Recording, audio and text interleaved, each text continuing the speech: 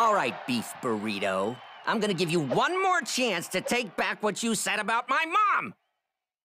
I'll kill you!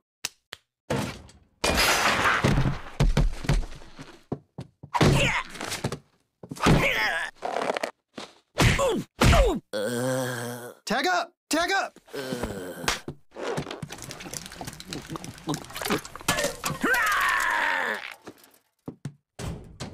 What? Oh, you want us to put the hurt on you? I think he wants me to put the hurt on him. I think he wants you to put the hurt on him. You think he wants me to put the hurt on him? Yes, I do! Ah! Ah! Uh, yeah, yeah! Did you see how awesome it was when I hit the trampoline? Yay, I did! But it wasn't as awesome as when you punched that hole in the wall.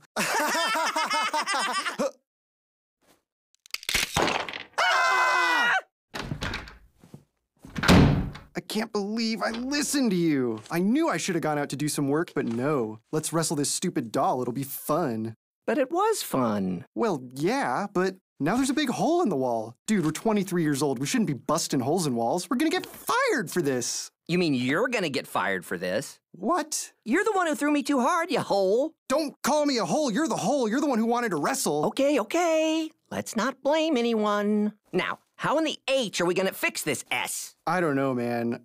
We can't fix it, and we definitely can't pay for it because we don't have any money. Unless you have some money. No. Besides, I don't even know how much it costs to fix a hole like this. Probably a ton. Exactly. Which leaves us with only one possible solution. We convince Benson to give us raises so we can afford to pay someone else to fix it.